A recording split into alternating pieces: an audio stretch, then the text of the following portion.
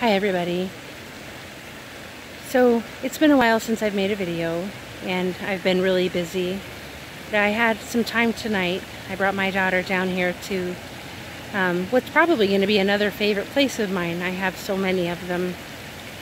This is again on the Snake River or near the Snake River.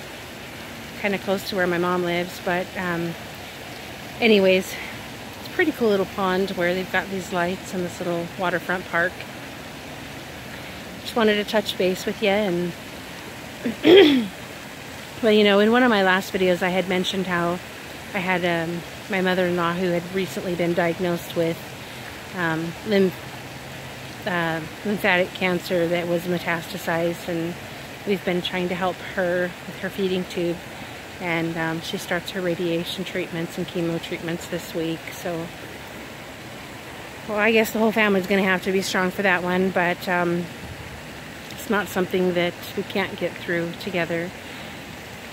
Um, also, real quick, I just wanted to kind of touch base on my own mother who's struggling with some dementia and and things of that nature, which is, again, another struggle. Plus, my husband and I are in a newly started company that we're trying to build, and it's been super busy, but I decided to take some time and show you this beautiful scenery um, I don't know if you're feeling the time speeding up or any significant um, feeling of, of what time we're living in, but um, if you're feeling that, just know that you're not alone, and if you look around you, you'll find the beauty in this world, even though there's a lot of a lot of lies and a lot of hard things to go through.